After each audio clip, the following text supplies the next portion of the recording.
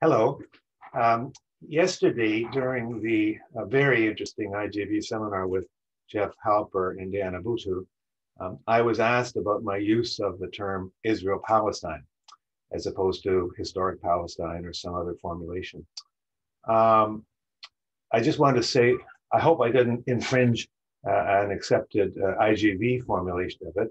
Uh, my organization is called the Ottawa Forum on Israel Palestine. And we've thought hard about um, the appropriate terminology to use. And I'm not sure that um, it's necessarily the right one, but I just wanted to say why we've chosen what we've chosen.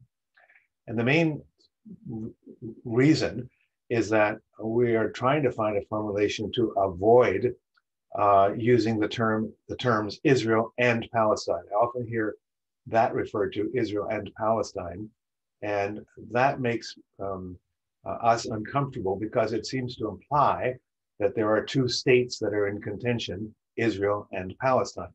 And so we look for an alternative uh, to, to that. Um, we are not, uh, Ontario, the Ottawa Forum, Forum on Israel Palestine is not a Palestinian solidarity organization.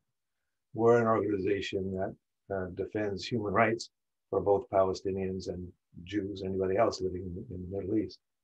Um, we're aware of the fact that the word Palestine itself is a bit ambiguous, or at least it's used in different ways by different people, including by different Palestinians. Some people use Palestine to mean only the West Bank, or the West Bank and Gaza, or the West Bank and Gaza and um, East Jerusalem.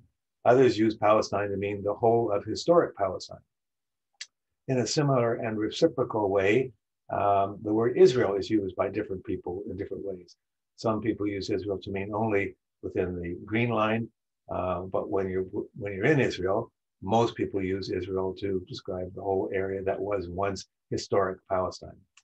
So we've adopted, uh, as a Canadian organization, we don't think um, that we have the right to say what the final uh, answer will be or what the final name of the that area will be, and so we use the term Israel Palestine.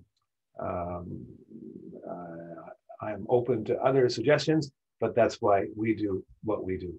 Thank you very much.